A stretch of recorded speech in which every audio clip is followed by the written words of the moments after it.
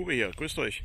Ja, ich bin wieder unterwegs und zwar bei einer Wanderung. Äh, ich bin in Reitwein, das ist in der Nähe der polnischen Grenze, äh, bei Selo oder Seloer Höhen. Ja, hier war äh, zum Ende des Zweiten Weltkriegs eine ganz schön große Schlacht oder die letzte Schlacht vor Berlin.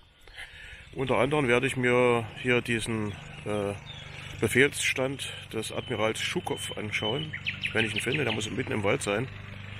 Ja, ansonsten sehe ich hier noch eine Priesterschlucht unterwegs. Äh, ja, werde ich mir anschauen.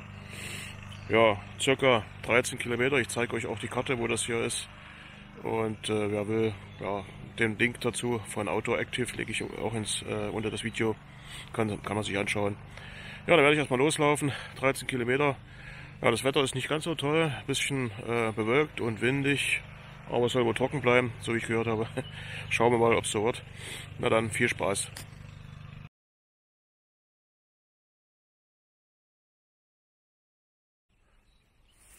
Ja, gleich zu Beginn hier ein Lost Place, das Bergschlösschen, habe ich gerade fotografiert, den, das Hinweisschild. Also sieht nicht so aus, als ob hier noch jemand wohnt. Und wenn, dann sehr schlecht. Stehen zwar ein Haufen Autos, aber die, die Häuser sehen wirklich übelst aus. Ja doch, die Fenster sind relativ neu. naja, nee. Hier möchte man nicht wohnen unbedingt. Steht aber unter Denkmalschutz, dieses Haus.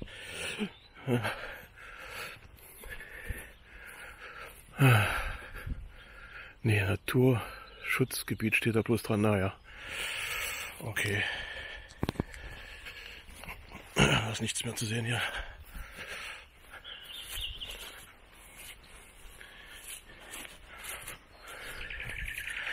Da wächst das Unkraut in der Stube.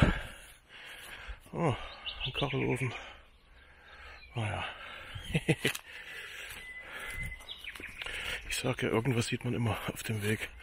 Aber das, das ist schon eine Ruine hier. Da lohnt sich nichts mehr groß zu gucken. Ein Haufen abgefuckte Autos stehen hier rum. So, aber erstmal weiter. Ja, ein paar Hügel gibt es ja auch. Das ist ja hier, gehört ja mit diesen Seeloer Höhen wahrscheinlich. Die ganze Landschaft. So, mal schauen, wo ich jetzt hier lang gehe. Heimatlehrfahrt. Reitweiner Sporn. Könnte das sein?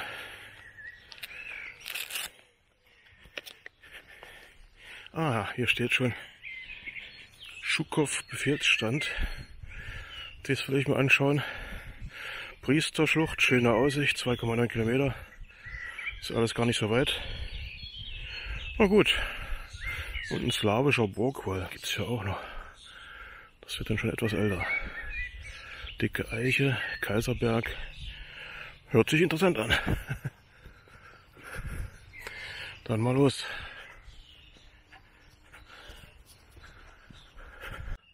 Oh, jetzt kommt sogar die Sonne raus. Heute zum ersten Mal. Und jetzt ist es gegen neun. Schön. Hoffentlich bleibt so. Ein bisschen. Also ich komme nicht gleich zu diesem Befehlsstand. Meine Runde geht erstmal in die andere Richtung. Wahrscheinlich dann auf dem Rückweg. Ach, so genau weiß ich das nicht. Mal schauen. Jetzt geht es erst hier oberhalb von diesem Dorf Reitwein weiter laut meinem GPS. Und das hat immer recht. ja, hier ist auch ein Hinweisschild auf das Oder-Hochwasser vom Sommer 1997. Und da war auch hier dieser Ort betroffen, Reitwein. Also hier sieht man ja diese Wiesen. Ich weiß nicht, ob in die Richtung dann auch die Oder ist. Könnte sein. Und das war dann alles hier unter Wasser. Muss schon enorm gewesen sein.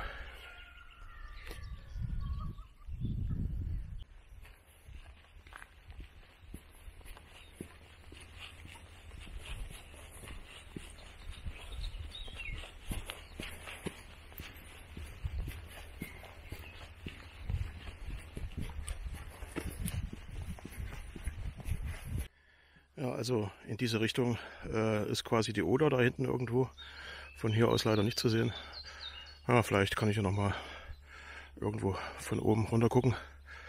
Äh, ja, leider sehr bewirkt, immer noch. Und es geht hier auf so einen größeren Waldweg lang.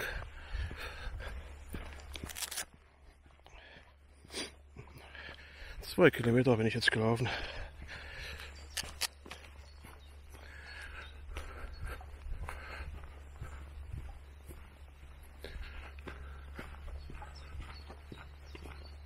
Na gut, dann wird es heute nicht so warm, wenn die Sonne mal fehlt. Ist ja auch mal nicht schlecht. Trotzdem werde ich gleich meine Jacke ausziehen. Das ist schon wieder ein bisschen zu viel, was ich anhabe. Naja, im Moment geht's noch. Bis dann.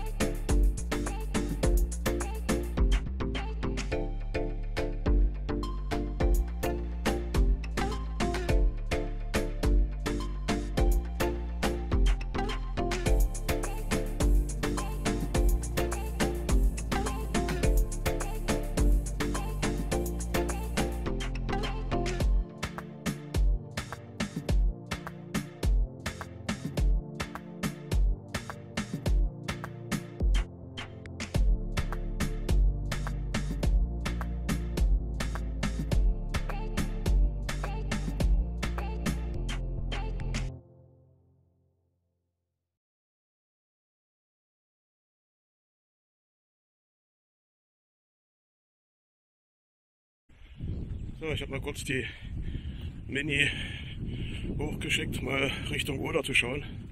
Ich weiß nicht, ob man auf den Videos erkennt, das ist doch ziemlich weit weg. Bestimmt zwei, drei Kilometer weg, die Oder. Ja, aber trotz Wind war es sehr schön, der Flug, also sehr stabil. Keine Probleme gehabt. Beim Landen hatte ich ein bisschen Gras im Weg, aber naja, hat es ein bisschen Mähdrescher gespielt.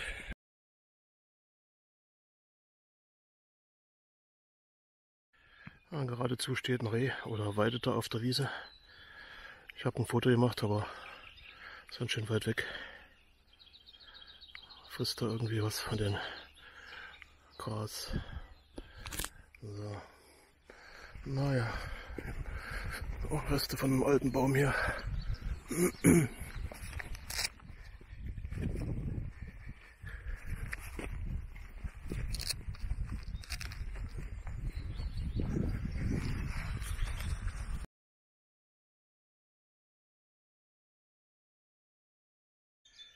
Ah, da sitzt ein Hase im Feld. Hat mich wahrscheinlich gesehen. Ich habe gerade ein Foto gemacht. Und das Reh, was da gegrast hat, hat laut gebellt und ist weggerannt. hat ihn also auch gewarnt, aber lässt sich nicht stören. So, ich komme jetzt hier in den nächsten Ort. Der heißt Wuden. Hier ist auch eine Straße, die heißt Wudener Luse. Luz oder Ludener Luz. Klessinenbruch, hört sich alles gut an. Ich muss hier rechts die Straße hoch. Wuden.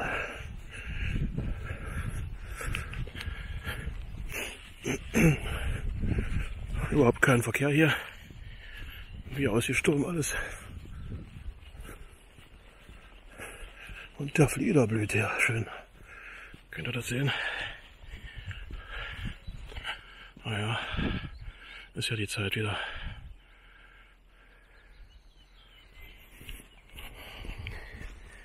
So. Oh, weitergehen. Oh, das rieche ich so gerne.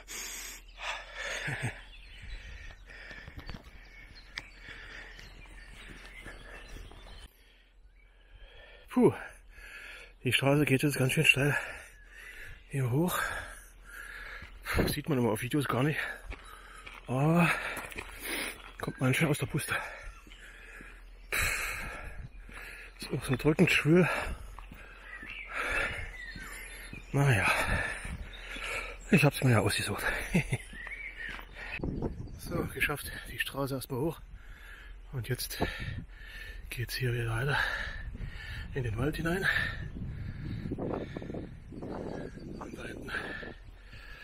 Die Wolken sehen ganz schön bedrohlich aus. Das ist ja windig. Vielleicht bleibe ich hier trocken. Jetzt geht's hier rein in den Wald.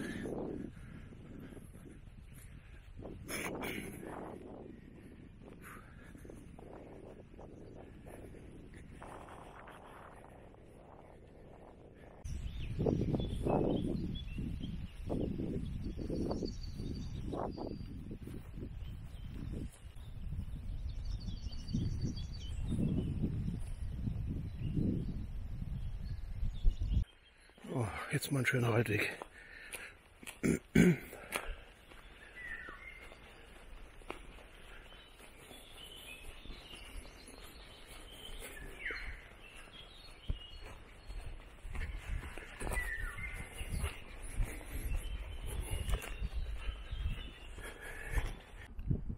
So, von da oben, wenn ich gerade jetzt komme, jetzt geht es hier wieder an so einer Wiese vorbei. Am Waldesrand. Oh, schön. Ja, ich wollte gerade auf meinem Handy mal gucken, wie das Wetter hier ist, so mit dem Wetterbericht. Natürlich null Datenverbindung hier, also ja, es ist, Deutschland ist wirklich total rückständig hier, wenn man auf dem Land ist oder ein bisschen draußen. Absolut un un unmöglich was zu machen mit Telefon. Zum Glück sind die Satelliten noch oben. Die eröffnen ja noch ein bisschen. Und immer hier an dieser Wiese lang. Der Weg ist ja nur zu erahnen hier, was hier sein soll. Aber hier führt meine Route lang.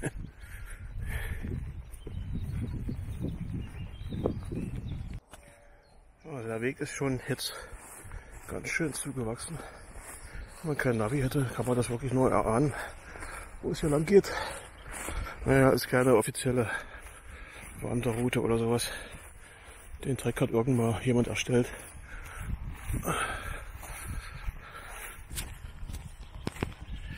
Ah, verlaufen kann man sich nicht. Überall Ortschaften in der Nähe.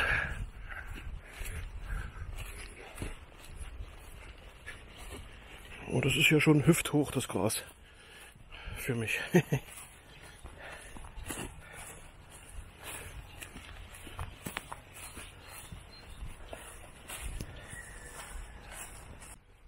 so, jetzt bin ich hier in den Ort Podelzig angekommen. Aber den verlasse ich auch gleich wieder, wie es aussieht. Nur ein Stück. Und dann geht es in die andere Richtung wieder zurück.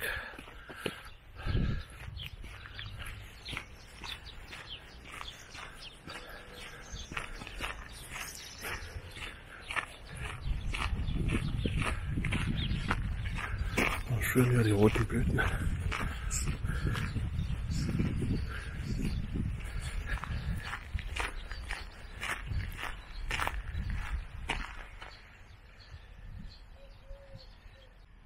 So, den Ort habe ich jetzt auch wieder hinter mir gelassen. Ja, leider läuft man durch diese Orte immer über solche hässlichen Landstraßen.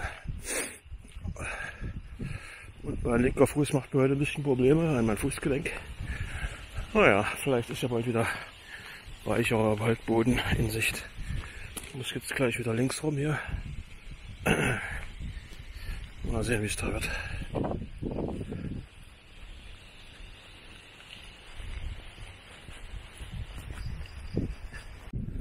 Naja, Sand besser wie gar nichts.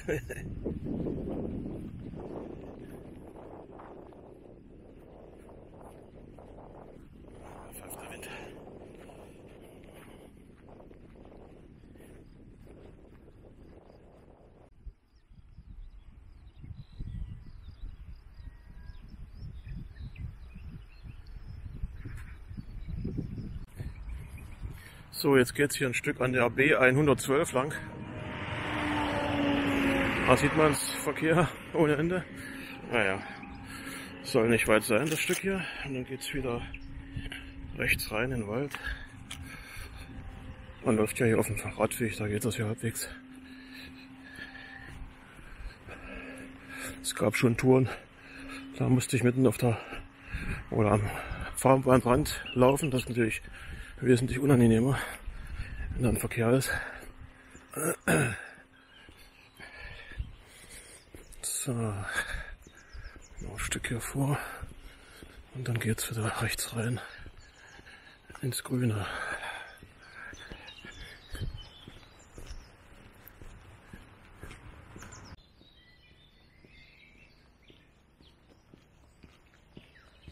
So, und zack, kaum bin ich in den Wald schon wieder Ihr wisst schon was.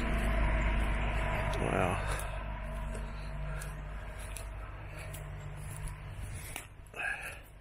Oh, sogar vernagelt.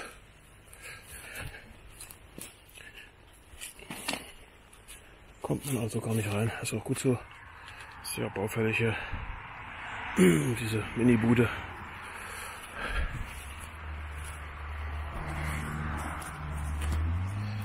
Naja.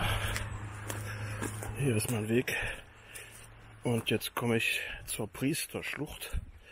Noch ein paar hundert Meter in die Richtung. Mal sehen, warum die Priesterschlucht heißt. So, hier geht's jetzt zur Priesterschlucht. Liebe Gäste, bitte lärmt nicht und kreuz und quer in der Natur umher. Wozu gibt es sichere Wege? Denkt ans Wild und seine Hege. Ja. Mache ich doch.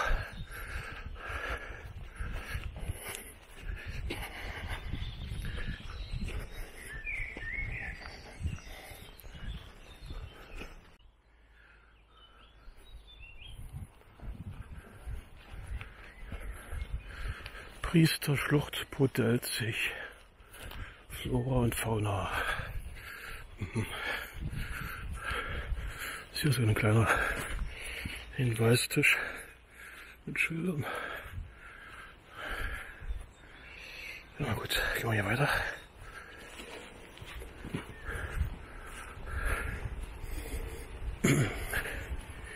Geht hier ein bisschen steil hoch. Oh, eine schöne Hügellandschaft hier. Man merkt es auch in die Beine.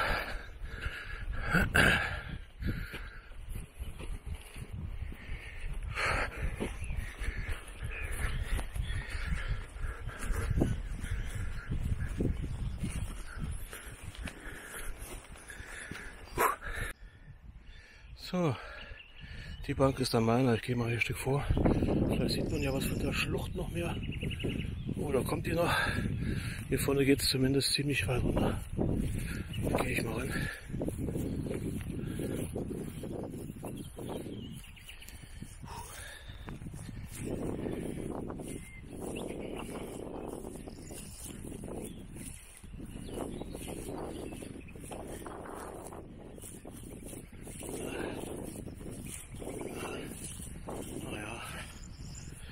Schlucht.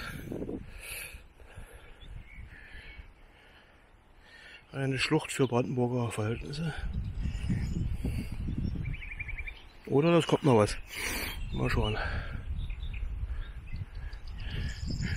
ich glaube, ich werde jetzt erstmal was essen und was trinken.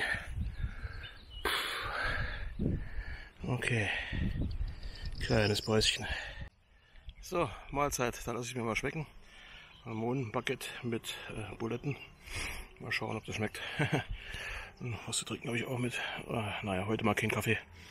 Aus gewichtstechnischen Gründen.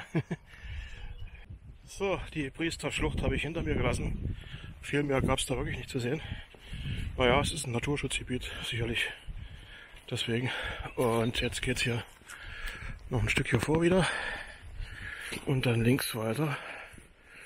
Ich hoffe, dass ich noch zu diesem Befehlsstand komme. Aber ich denke mal, das liegt ja auf der Route. Naja, das sind noch 4, noch was Kilometer. Die Tour. So, na Gott.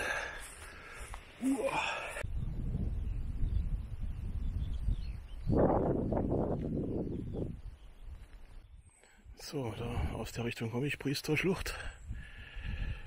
Und jetzt geht's hier noch 1,2 Kilometer in die Richtung nach Heidwein. Da steht hier mein Auto. Na, mal schauen, ob ich noch den Schukow, Schukow Unterstand finde. Ja, und dann zeige ich es euch. Bis dann. Ja, aber vorher kommen noch die Wallberge. Das sind die Reste einer slawischen Besiedlung, die hier vor mehr als 1000 Jahren war. Hier stehen einige Tafeln, aber manches ist ja nicht mehr gut zu lesen. Gucken wir mal, ob wir noch was sehen. Also hier ist so wie so ein Wall. Das ist so künstlichen Ursprungs, weiß ich nicht. Gehen wir mal davor. Und hier geht es ganz schön runter. Ja, also hier dieser Wall. Hm, viel ist nicht zu sehen, also ich kann nicht erkennen, was die hier geforscht haben, die Leute.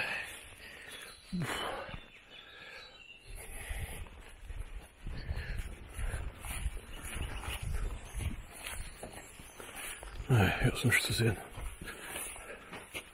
Okay. Ja, ich nehme an, das ist hier dieser Wall gewesen.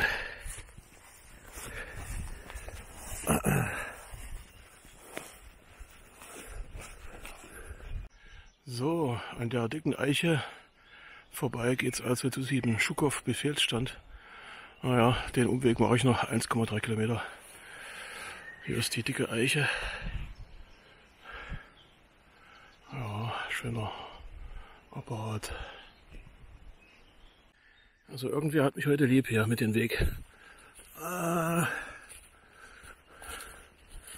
wie soll ich denn da runterkommen? Mal da oben lang gehen. Ich bin ja kein Bauchtänzer hier. Uah. Okay.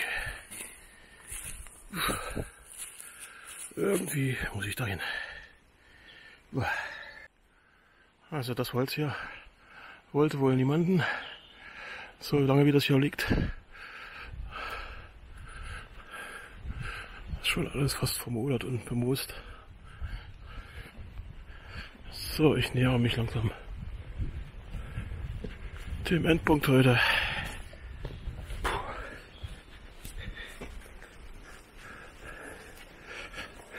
Also dieser Befehlsstand scheint wohl wirklich richtig tief im Wald versteckt gewesen zu sein. Und äh, trotzdem hatte er wohl freie Sicht auf die Felder, die Seelower Höhen da, die Richtung, wo seine Leute quasi gekämpft haben. Ja, jetzt bin ich schon ziemlich weit unten hier. Ringsrum ist dichter Wald. Und irgendwann müsste man ja mal sehen hier. Da oben ist eine Gedenktafel. Da werde ich mal hingehen. Okay, hier geht es dann also hoch, wo diese Aussichtsplattform war wahrscheinlich. Und der Bunker von Tschukow. Ich weiß nicht, was man da noch sieht. Das ist ja schon ein paar Jährchen her.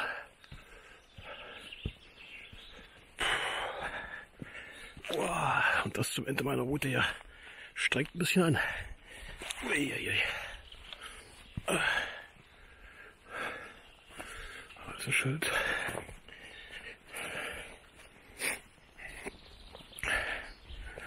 Schukow Bunker. Aha.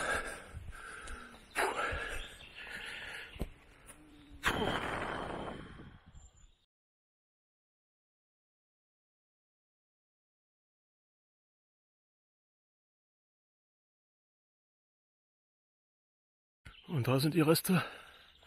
Die werden sicherlich zu sein oder zugeschüttet. Äh, boah.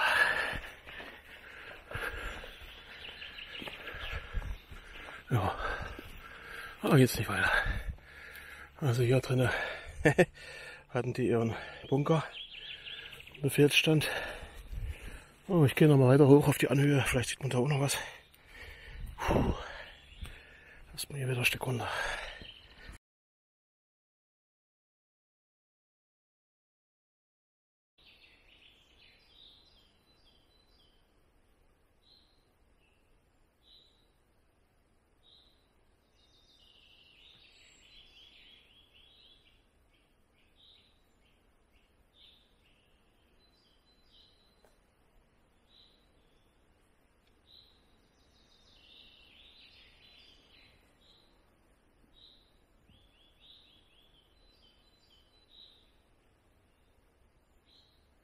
So, jetzt geht's hier weiter.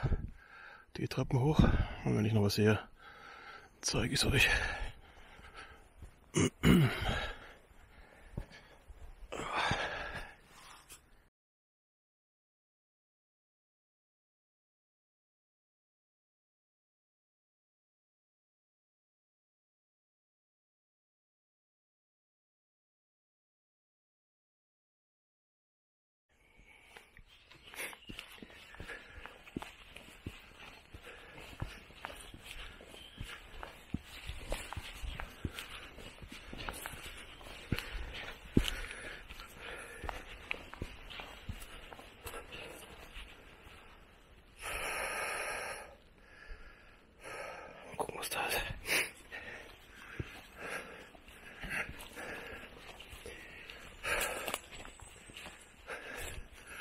Sind überall Stellungen ausgegraben.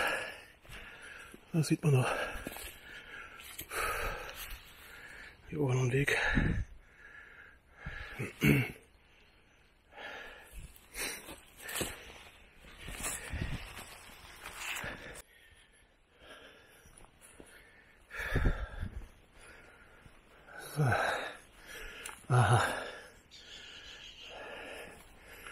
Ist hier der Befehlsstand. Hier sieht man auch Marschall Schukow. Der hat hier die sowjetische Armee geführt. In der letzten Schlacht vor Berlin quasi. Ja. General Oberst Wassili Ivanovich Schuikow. Oberfeldbefehlshaber der vierten Gardearmee. Ja, wir wissen ja alle, wie es ausgegangen ist. Oh, hier hat sogar jemand Blümchen hingestellt. Ja, es sind viele Leute hier gefallen. War schlimm. Und äh, die Aussicht hier äh, war damals, da haben sie wahrscheinlich die Bäume da vorne weggemacht oder keine Ahnung. Jetzt sind die alle nachgewachsen. Sieht man nichts mehr von dieser Aussicht. Aber nicht mehr viel. Ups. Ja. Oh, hier hat er seine die Armee beobachtet, wie sie gegen die Deutschen vorgerückt ist. Kann man sich gar nicht mehr vorstellen. Okay. So, jetzt gehe ich hier wieder irgendwie zurück auf meine Wanderroute.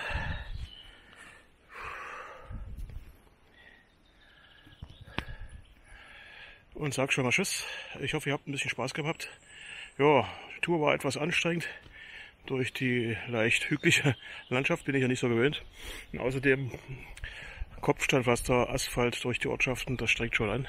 Ich habe auch ein bisschen Probleme mit meinem äh, Fußgelenk. Naja, jetzt merke ich langsam, dass ich schon, wie viele Kilometer habe ich jetzt? Äh, 13,39, 1, noch was muss ich noch? Ja, das ist für mich schon relativ ausreichend heute. so, bis zum nächsten Mal. Tschüss, euer Uwe.